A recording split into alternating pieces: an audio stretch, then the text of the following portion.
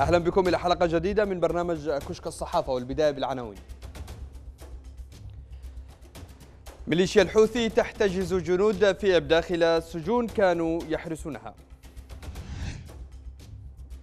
سكان في صنعاء يقولون لصحيفة الأيام لم نتلقى أي إغاثة والحوثيون دونوا أسماءنا في قوائم المساعدات قبل أربع سنوات وفي القدس العربي صحفي يمني يتحدث للصحيفة لم أتوقع أن يأتي يوم أعمل فيه بمهنة غير الصحافة.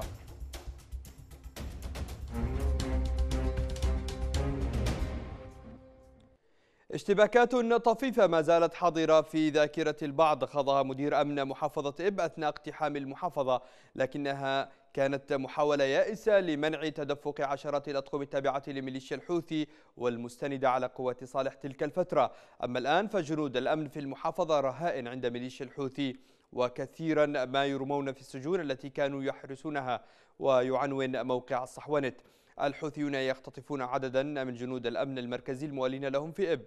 حيث قالت مصادر محلية أن القيادي الحوثي في مديرية جبلة جنوب غرب إب المدعو أبو رامي اختطف عددا من جنود الأمن المركزي والذين يعملون في نقطة منطقة قحازة غرب المدينة.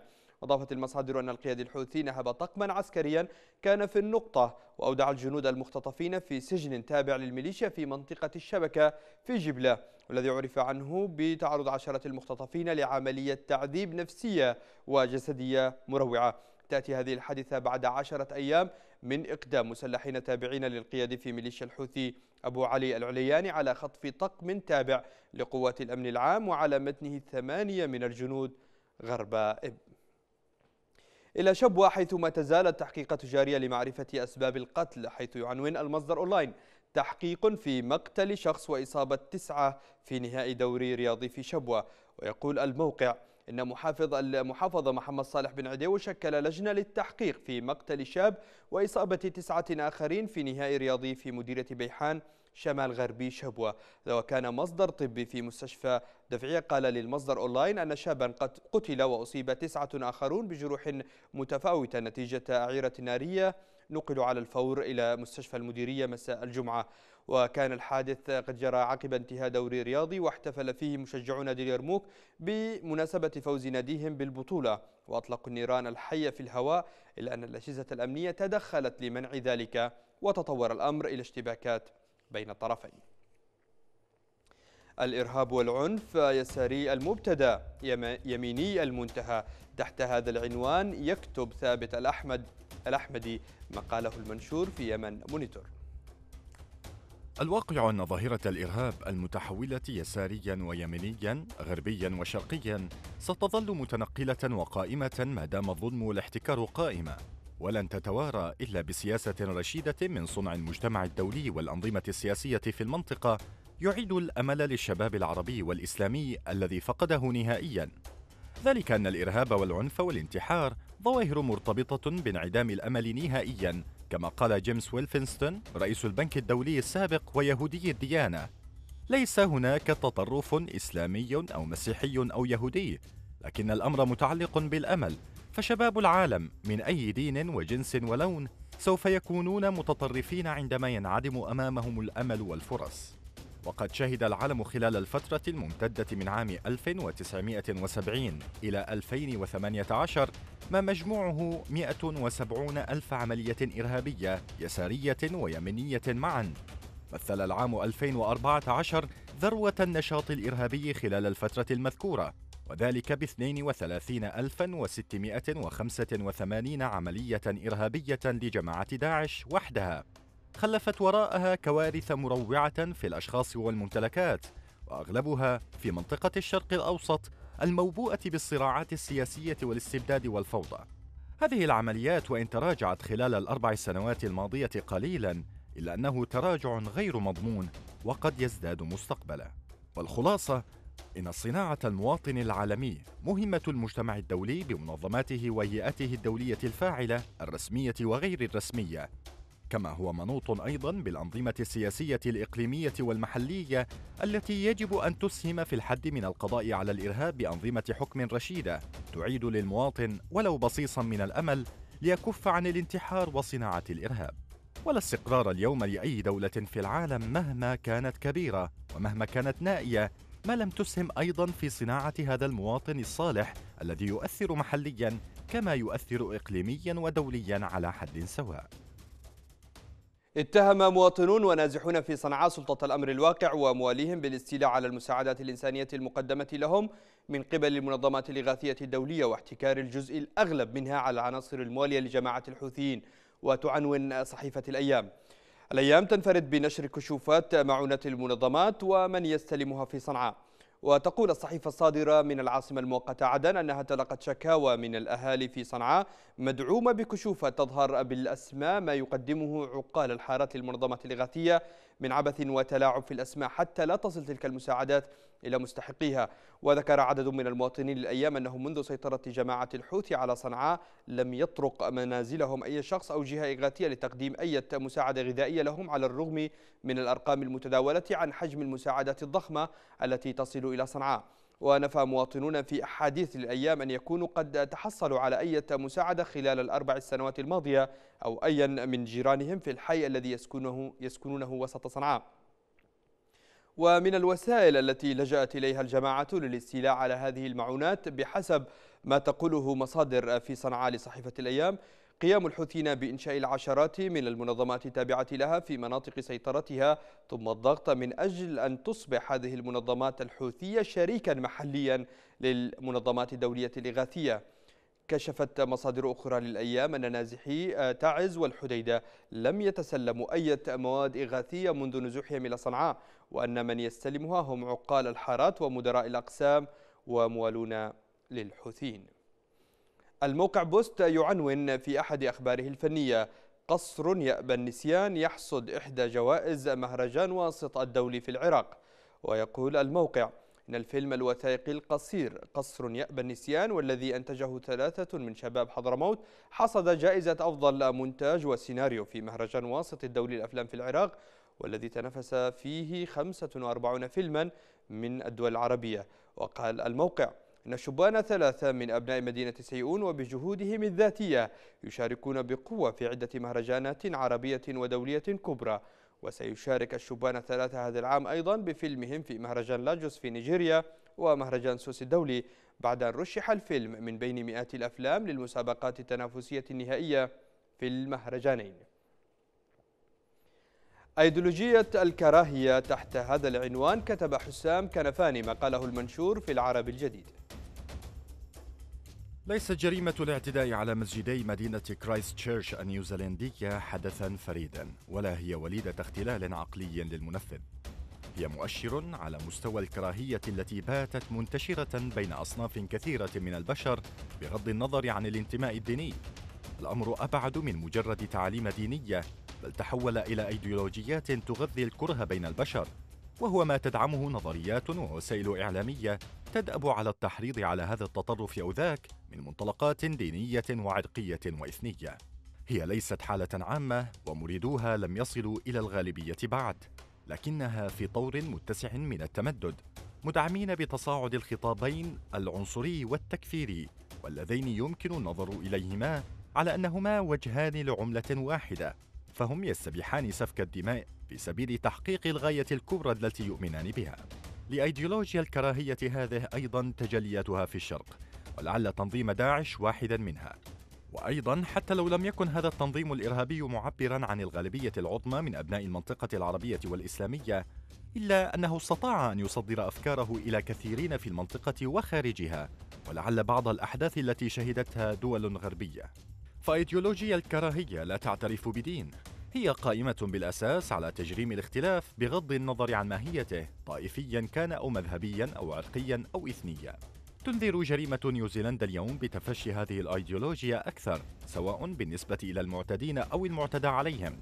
فأصوات كثيرة خرجت في الغرب عبر وسائل التواصل الاجتماعي تمدح ما قام به تارانت وعلى المقلب الآخر لن يختلف الأمر خصوصا أن أصواتا كثيرة على وسائل التواصل الاجتماعي وحتى على مستويات سياسية عليا. وضعت سياق الجريمة في إطار ديني بحت وهو ما ينذر بأفعال انتقامية لن تؤدي إلا إلى تغذية أيديولوجيا الكراهية التي بدأت تفلت من عقالها. لم يستطع جابر غراب وهو مصور صحفي محترف أن يتخلى عن حمل كاميرته حتى وقد صار يبيع القات كمهنة جديدة عليه. لجأ إليها استجابة للمعاناة التي فرضتها الحرب على اليمنيين بمن فيهم الصحفيون الذين يعيشون ظروفا سيئة للغاية في بلد صنفته منظمة مراسلون بلا حدود مؤخرا بأنه ضمن خمسة بلدان هي الأخطر في العالم على حياة الصحفيين. ووفقا لعنوان تقرير صحيفة القدس العربي صورة من مأساة الحرب. صحفيون يمنيون يلجؤون إلى مهن أخرى. كان جابر يحلم ككل اليمنيين بمستقبل أفضل. ولهذا اشتغل على عدد من المشاريع الفوتوغرافية بموازاة تجربته الصحفية فبقيت الكاميرا ترافقه في حله وترحاله يوثق الابتسامات في الشوارع وملامح الأمل في المكان من خلال لقطات ظل ينشرها في صفحته على فيسبوك حتى عقب اندلاع الحرب عام 2015 لم يتوقف عن ذلك. وتضيف القدس العربي. لم يتوقع استطالة الحرب فظل مستمرا في توثيق ابتسامات الناس ونشرها ضمن وسم ابتسم في زمن الحرب. لقد ظل جابر يكابد معاناة الحرب ويتحمل تبعاتها ككل زملاء المهنة هناك وينفق من هنا وهناك إلى أن نفد منه كل شيء ووصل به الحال إلى ضرورة البحث عن عمل لكنه لم يجد سوى العمل في بيع القات فهو عمل يحتاج لرأس مال قليل وسيوفر له حدا مقبولا من احتياجات الحياة. حتى بعد أن صار لاجئا في مهنة أخرى ما زال يحرص بين الفينة والأخرى على الخروج من بيته بالكاميرته وحملها معه إلى سوق القات كأنه لا يستطيع أن ينسى حياته السابقة. وأضاف لم أتوقع أنني سأعمل في مهنة أخرى غير الصحافة لكن الظروف كانت أقوى مني وما نتعرض له من مضايقات كان لابد أن أبحث عن عمل واختياري للعمل في بيع القات هو لأنني لم أجد غيره. عن هذا الزمن الردي تحت هذا العنوان كتبت رشا عمران مقالها في العرب الجديد. في ظني قصتنا نحن العرب تسير في دائرة واحدة مغلقة. لا يمكن لأي من مناحي الحياة الخروج منها منفردة. نحن في أقصى حالات التردي على كل المستويات. حيث تمكن الاستبداد السياسي من فرض قبضته الكاملة على الشعوب العربية متحالفا سرا وعلنا مع مؤسسات دينية متخلفة ومستبدة هي الأخرى.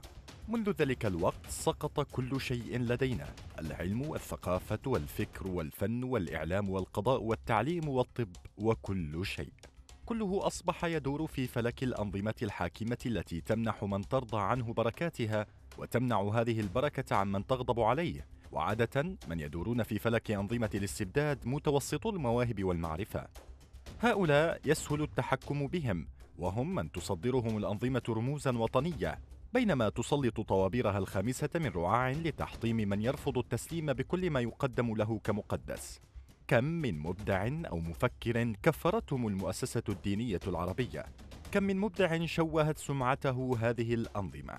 الأمثلة أكثر من أن تذكر خصوصا بعد الربيع العربي حيث تم الفرز تلقائيا في البداية قبل أن تختلط المعايير ويتكشف من كنا نعتز بهم تنويريين عن خلفيات مذهبية أو مساندة للاستبداد. دعيت قبل سنوات للمشاركة في مهرجان شعري دولي في زيورخ. كان من المشاركين روائي وشاعر سويسري يعتبر أحد أهم كتاب بلاده. حضر في أمسية الافتتاح رئيس كانتون زيورخ وصديقته. كان مذهلا لنا. نحن العرب المشاركين في المهرجان.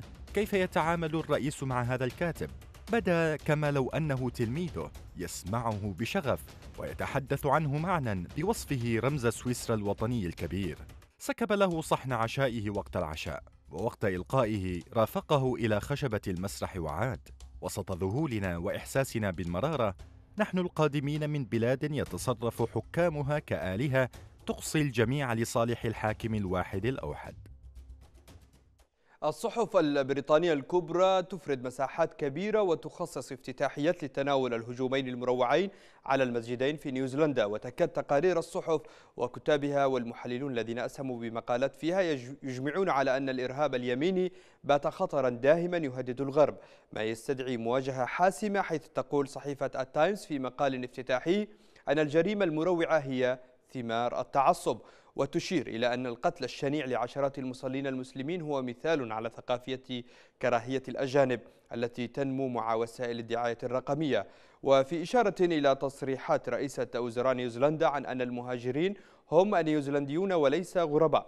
قالت الصحيفة إن هؤلاء الذين تهددهم الكراهية ومعاداة الأجانب ليسوا خارجين بل مواطنين ورفاهيتهم وسلامتهم لا تنفصل عن رفاهية وسلامة الآخرين في مجتمع حر. إنهم نحن. وتشير الصحيفة في مقال افتتاحي إلى أن المتطرفين اليوم يلقون التشجيع من الزعماء الشعبويين ويستمدون القوة من السياسيين في الديمقراطية الغربية الذين غيروا حدود النهج السياسي المقبول.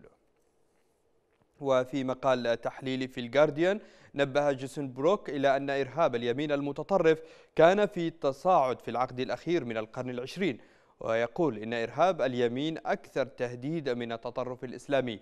وعن هذا التطرف في القرن الحادي والعشرين يقول بروك إنه رغم أن العنف المتطرف الإسلامي كان أكثر شيوعا وإهلاكا في أوروبا فإن الدلائل على التهديد الذي يشكل عنف اليمين المتطرف كان قائما منذ فترة طويلة.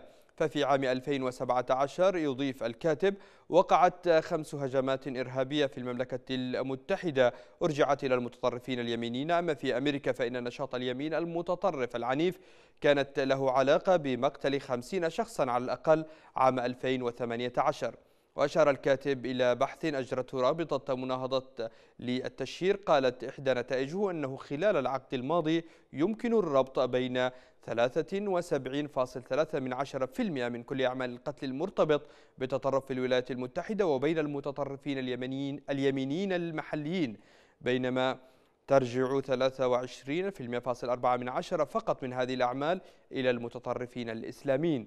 ويرى بروك أن كلا من المتطرفين الإسلاميين واليمينيين يعتقدون بأن مجتمعاتهم تواجه تهديدا وجوديا ما يفرض على كل فرد التزاما بالقتال لدفع هذا التهديد. جولتنا المصورة من صحيفة الجارديا البريطانية والتي نشرت العديد من الصور التي توثق أحداث مختلفة حول العالم.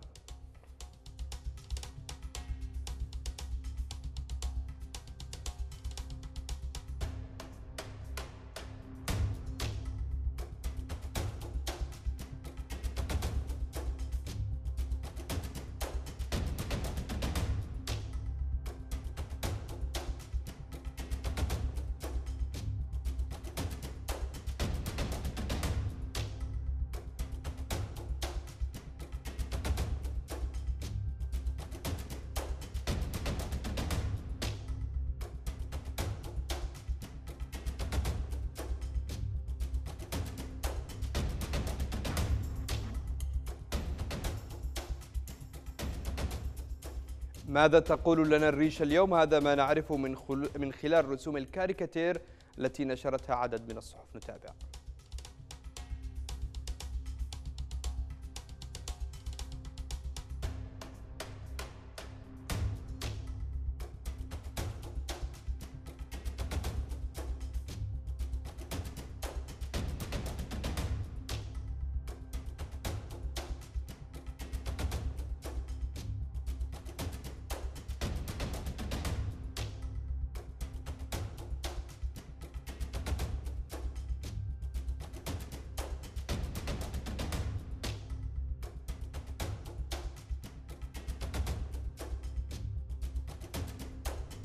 بهذه المجموعة من الصور ورسوم الكاريكاتير. وصلنا معكم إلى ختام حلقة اليوم من كشك الصحافة. في أمان الله.